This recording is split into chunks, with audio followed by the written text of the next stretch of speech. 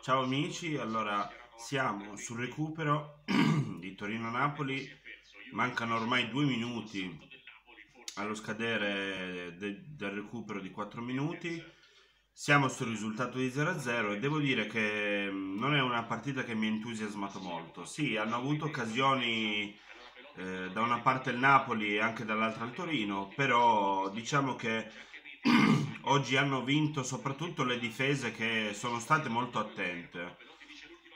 Napoli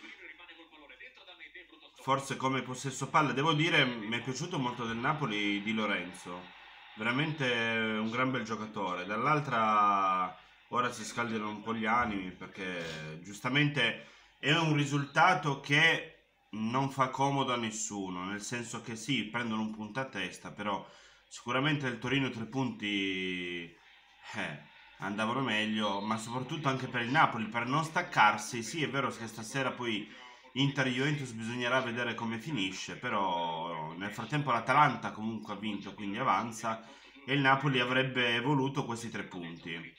Si è visto che li hanno cercati, però dall'altra parte c'è stato un Torino molto attento, molto difficile da affrontare.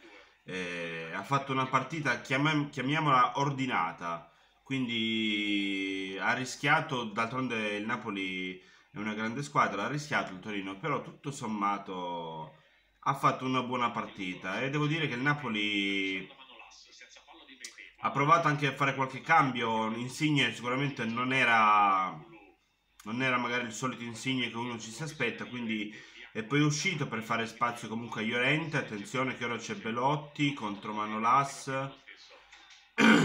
Meret tutto tranquillo. Mancano praticamente 10 secondi alla fine. Mi aspettavo sicuramente una partita diversa. Ecco la partita è finita. Mi aspettavo una partita diversa sicuramente con qualche gol e con qualche azione da gol in più. Non è stato così due squadre un po' tirate. Eh, questa è stata l'impressione che mi hanno dato. Hanno cercato la vittoria ma non così non così fortemente, diciamo. Quindi il risultato di Torino-Napoli è 0-0. Un pareggio, ripeto, un pareggio che serve poco a entrambe, secondo me.